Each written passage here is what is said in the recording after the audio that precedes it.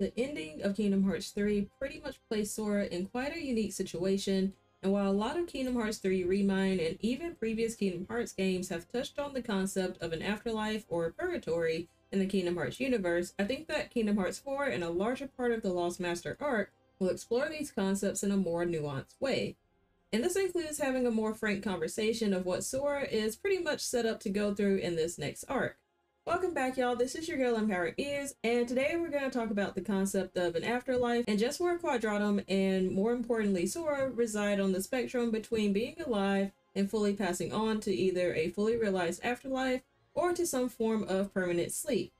So before we go on, obviously there will be major spoilers as to what happened to Sora in Kingdom Hearts 3, and while I've usually made these videos from a standpoint of looking forward from the end of Kingdom Hearts 3 into the Lost Master arc, I didn't want to inadvertently reveal major spoilers to anyone who's new to the series who might randomly come across this video. Okay, so right out the gate, I think it's pretty safe to say that Sora is in fact dead or somewhere beyond the veil that separates the living and the dead.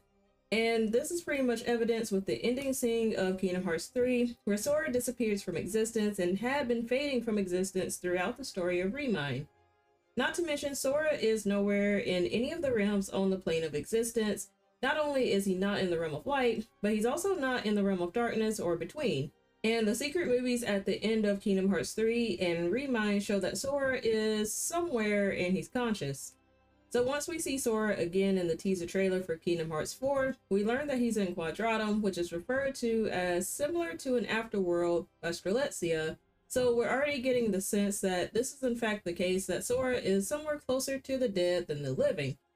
But I'm not 100% convinced that this means that Sora is fully dead or passed on, and I'll explain why a bit later in this video. All in all though, I think it's very safe to say that Sora is no longer on the plane of existence where his friends are, and this is further shown with the people we see him come across so far. Yozora, who in Sora's reality is actually a video game character, and Strelitzia, who we saw was struck down back in Union Cross. And while I do think that Yozora isn't necessarily in the exact same place as Sora and Strelitzia, it's still interesting to point out that so far, Sora has come across someone who's supposed to be fictional for all intents and purposes, and someone who's supposed to be long gone. So I think that means that wherever and whatever Quadratum is supposed to be is at this very interesting intersection of fiction, purgatory, and a more permanent death. This likely means that Sora might be beyond the veil of the living, but not completely dead. Like I said before, I think Sora, and to a broader extent Quadratum, lies somewhere on the spectrum between life and permanent sleep or death. And we've actually gotten hints of how this might play out not only in the Kingdom Hearts 3 secret movies, but also in a very pivotal moment in Union Cross.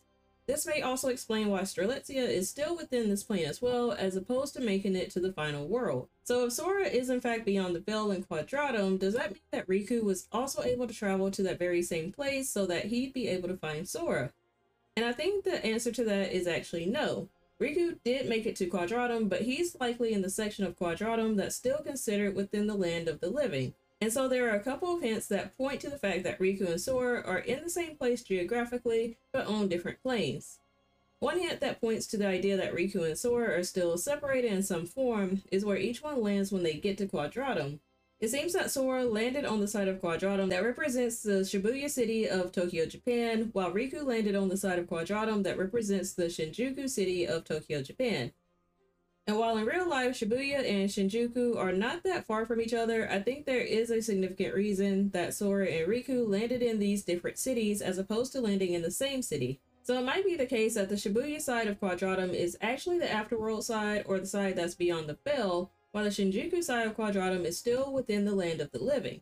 Another critical hint that points to this idea is the color overlay in the secret movies in Kingdom Hearts 3. Specifically in the secret movie where we see Sora and Riku each wake up in Quadratum, we see Sora's side with more of a red-orange gradient in the shading of his scenes, while we see Riku's side with more of a blue and white gradient in the shading of his scenes. And we also see Yozora on the same side of Quadratum where Riku wakes up. Additionally, in the secret movie after Yozora's secret boss fight when you win, Yozora wakes up back in Quadratum, but his surroundings still kind of carry that brighter blue and white gradient. Whereas in the teaser trailer for Kingdom Hearts 4, the Shibuya crossing side of Quadratum that Sora and Strelitzia are on takes on a bleaker look, where it's almost a more neutral palette. So again, this difference in colors might indicate that while both Sora and Riku are in Quadratum, Sora still might be unreachable because he's beyond the veil that separates the living from the dead, while Riku is still on the side of the living. But just because Sora might be beyond the veil for now, there could be a way for him to cross back over to the side of the living at some point in the Lost Master arc. And I think this is where we'll see a lot of the Master of Masters and Luxord throughout the story. I think because the Master of Masters has been around for so long, there's a good chance that he already knows how to traverse between multiple realms and worlds, and he might have even found a way to basically exist and move around outside of all limitations of time and space. This is why we've been able to see him not only in the realm of light, but also both in the Shibuya side of Quadratum and the Shinjuku side of Quadratum. So there could be something within the Master's power or knowledge that enables this, but it's hard to say at this point whether he'd even share that knowledge with someone like Sora, or whether we see him reveal it at some point in a separate cutscene. Additionally, Luxord's abilities not only involve chance and fate, but also kind of deal with the concept of time, and maybe more broadly, the intersection of time and space.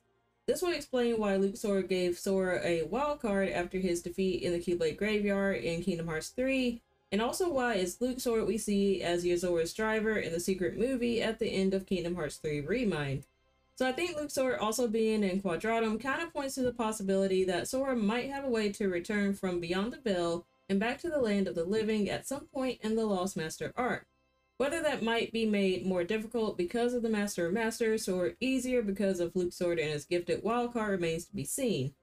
However, I do think that Sora's journey to return to the land of the living will not be an easy one and may even involve him having to make some difficult choices along the way. Alright, so because it seems like Kingdom Hearts 4 and the broader Lost Master arc is diving into this concept of life and death, I think that the way in which we see Sora and Riku appear in Quadratum is taking this concept into a really nuanced direction. I think that this arc is exploring life and death more so on a spectrum as opposed to absolutes. So while Sora is no longer on the same plane of existence as his friends, and may not even be in what's considered the land of the living, he's also not in a form of permanent death or sleep. It actually appears to be the case that Sora is maybe somewhere closer to a purgatory, but still beyond the veil that separates the living from the non-living or a non-existence. But this also brings into question what the end in the Kingdom Hearts universe might actually look like. I think that the concept of a life's end in the Kingdom Hearts universe has evolved a bit from Kingdom Hearts 1 up to now, and we kind of got a pretty important hint as to what choices one has when their end of life comes. If we remember from the end of Kingdom Hearts Union Cross, players Chirithy explained to them that they essentially could either sleep, with the Chirithy protecting them as Dream Eaters in the meantime, or their heart could join with another if they refuse sleep and in a sense continue to live on. So this is kind of reaffirming that there are multiple options along the spectrum of life and death in Kingdom Hearts. One's heart could fade and go into this permanent sleep, or one could essentially reincarnate by joining the heart of another. This is why it's suspected that Sora is actually player's third life, and what we're seeing is a reincarnated player's experiences. Along with these options, there's also the man-made options that might carry a body into the future, and data could be used in order to reanimate the person. This is likely what happened to Strelitzia, as her body might have been placed into the lifeboat ark to carry to the future, but again, because we did seem to watch Strelitzia's heart fade in Union Cross, the Strelitzia we see in the Kingdom Hearts 4 teaser trailer is likely reanimated from data and memories. And while Sora and Strelitzia's experiences are different, and they may have gone to Quadratum in different ways, this could also explain why they're both on the Shibuya side of Quadratum, that's likely the side that's beyond the veil. This version of Quadratum again is likely closer to a form of purgatory as opposed to a place that fully represents non-existence. And also, this is why I think the Disney worlds or IPs that will be used in Kingdom Hearts 4 and onward in future games would touch on these themes as well. There's a good chance that we'll see sort of newer IPs like Coco, but also older IPs that would fit these themes in the exploratory sense, like Treasure Planet.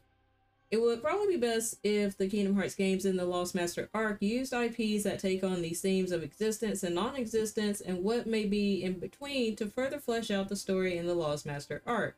I think the Lost Master arc has placed Sora in quite a unique situation in dealing with being in a place that's beyond the veil that separates him from the land of the living, but not in the place of permanent sleep. And I think that his story will mostly deal with him existing in this sort of purgatory along with the continued battle between light and darkness.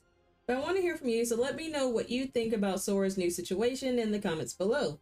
If you want to explore some more Kingdom Hearts theories, I'll be linking another Kingdom Hearts theory video here in the end screen. And as always, be sure to hit the like button and subscribe to this channel if you enjoyed this video and want to watch more Kingdom Hearts content. And if there's anyone who may have questions about what to expect for the upcoming Kingdom Hearts games, be sure to share this video. Thanks for watching, and I'll catch you next time.